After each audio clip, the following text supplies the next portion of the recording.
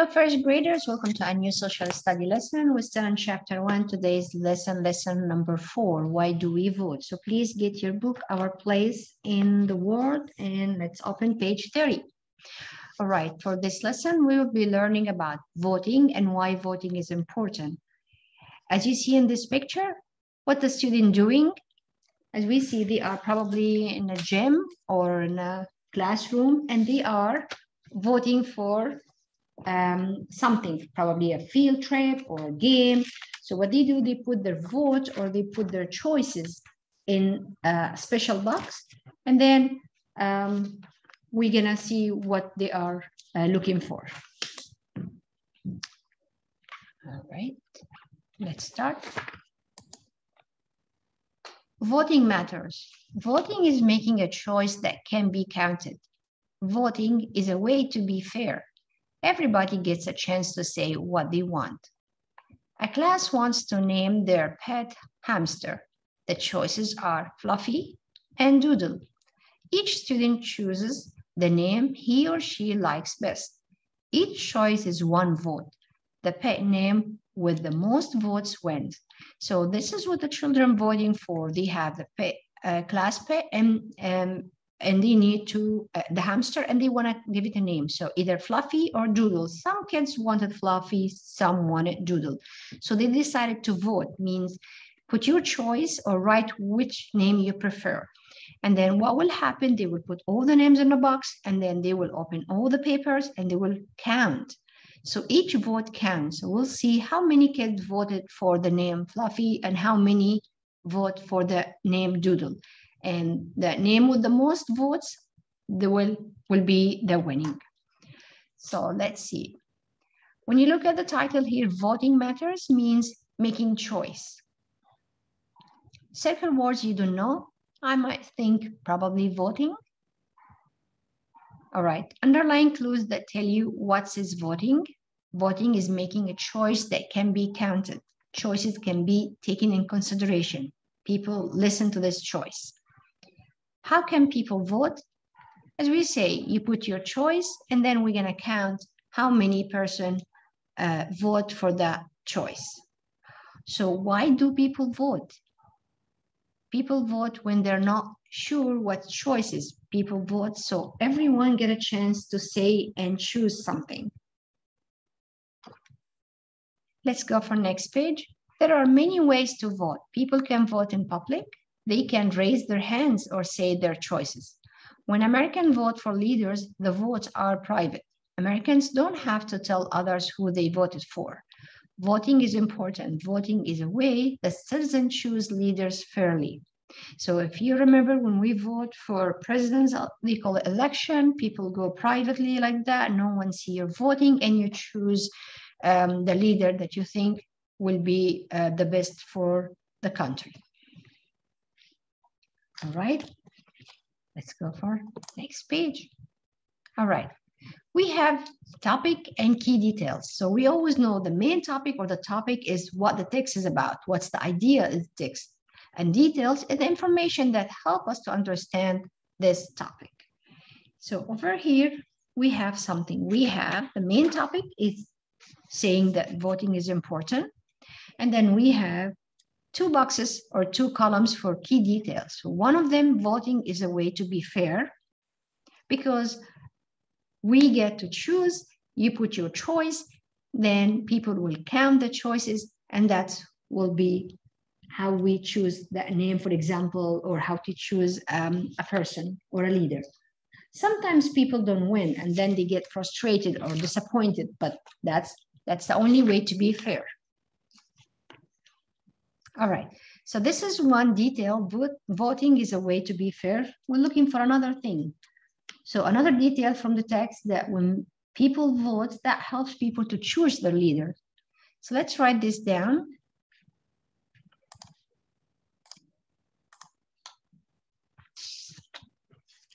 We can say that voting helps use there.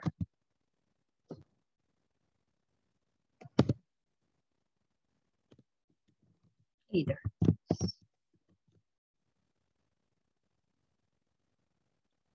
Okay. So the main topic is voting is important. Details, voting is a way to be fair and also helps people to choose their leaders. Okay.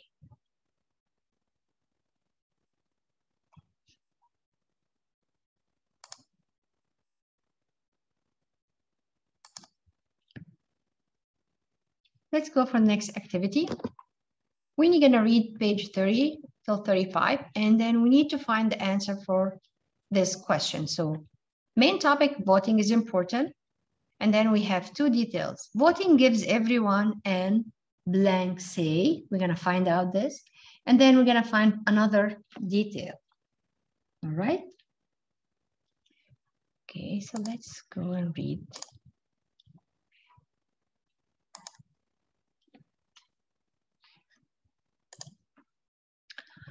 All right, why do we vote? Voting for choices. There are different ways to vote. You can raise your hands. You can write your vote on a paper. You can say yeah to vote yes or nay to vote no.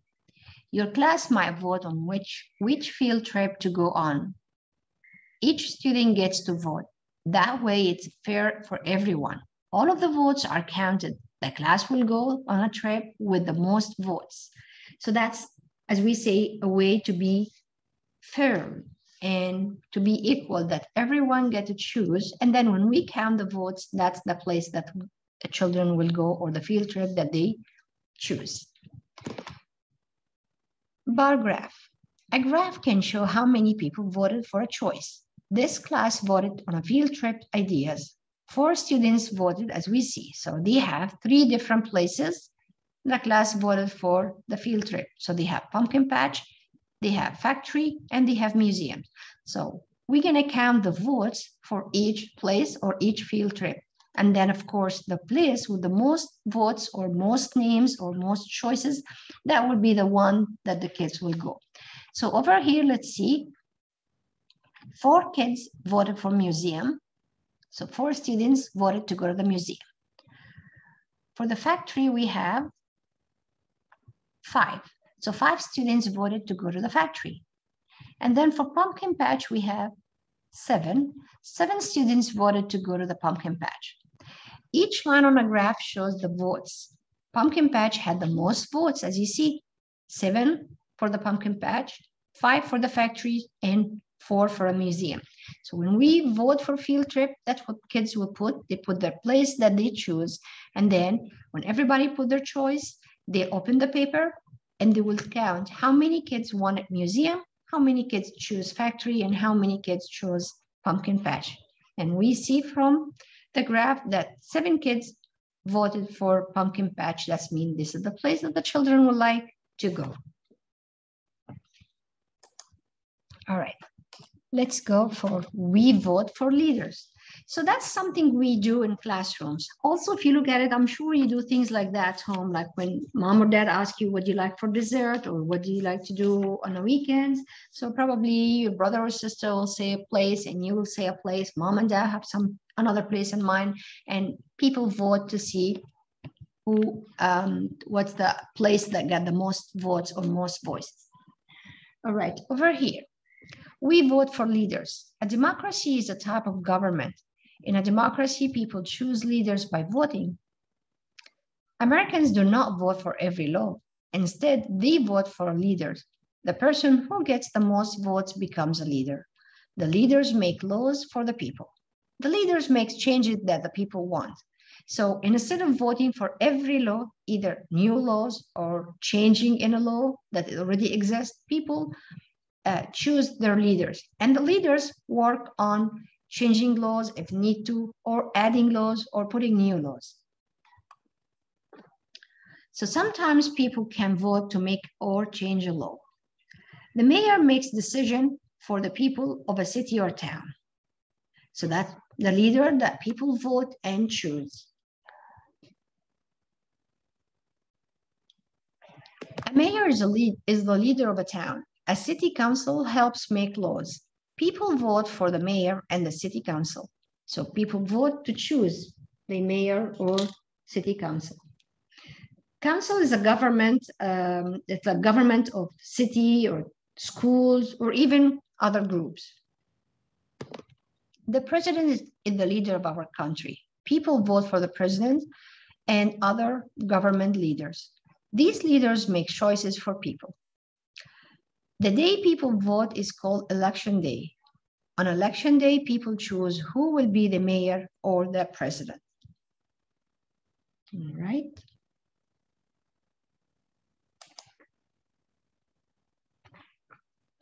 Voting is a right. Remember when we say that everyone have a right and we were talking in a previous lesson about education is one of the rights for the students. Voting and choosing your leader is a right. In America, adult citizens have the right to vote. Adult, which is a person who is 18 years and older, have the right to vote. Voting gives everybody a chance to make a choice. Americans get to choose their leader of the government. In the past, not everyone could vote. There was a time when American women were not allowed to vote. Women wanted the right to vote. And this is a primary source. We covered that in a previous lesson. That women fought for the right to vote and won. So now women have the right to vote. All right, let's see the biography for Elizabeth Cady Stanton. Stanton. Strong women like Elizabeth worked to change voting laws. Stanton wanted women to have the right to vote. She led many women to help make the change. They had a big meeting about the problem. It took many years of hard work for the change that happened. Women were not allowed to vote in, na in national elections until 1920. So before 1920 or 1920, the year where only um, men were allowed to vote, women were not allowed. But nowadays, things are different. Men and women have the same voting rights. Women help, women like Stanton help make that happen. She worked hard for equal rights. Equal rights mean people get the rights like each other. Doesn't matter your um, gender or color. All right. So let's go back to our activity, page 35, and fill the gap here. We have the main topic, voting is important.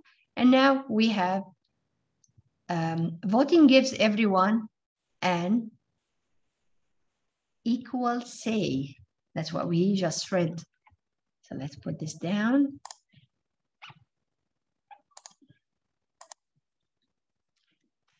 equal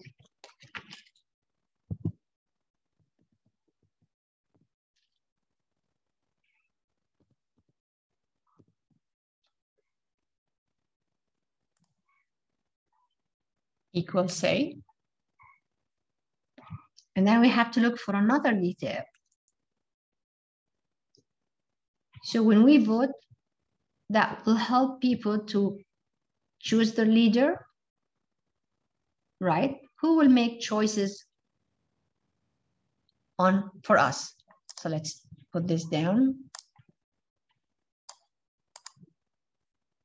Okay. Voting helps us pick our leaders.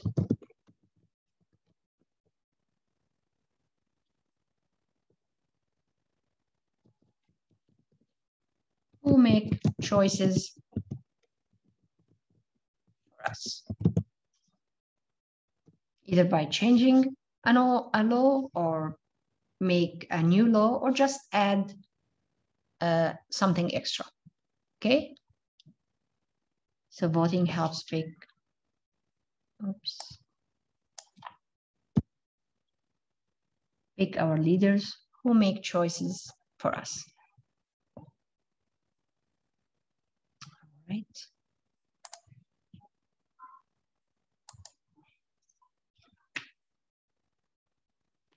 Okay, let's see what we have next. All right, page 36. What do we have here? We have what's voting. if you go back, you know that voting is a choice that can be counted.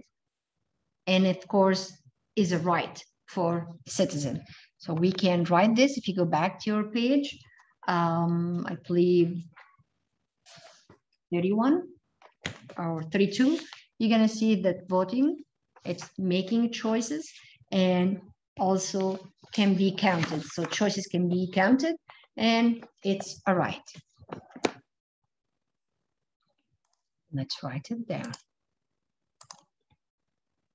So what's voting? Voting choice.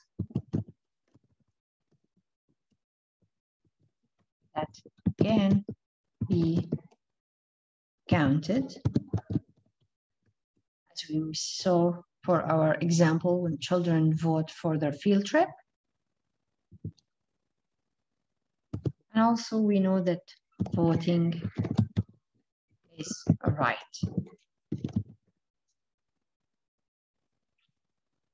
All right.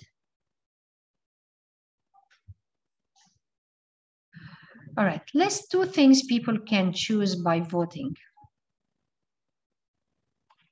So we can say, for example, like leaders, we vote for leaders. We can write here. Two things people for vote for. So people could vote for leaders and uh, um, classrooms, probably items like or field trips. Okay.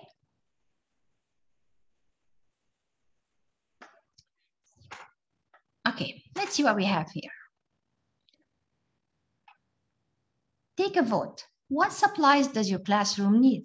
As a group, write three things that classroom needs. Then take a class-wide vote. Record the results in a bar graph.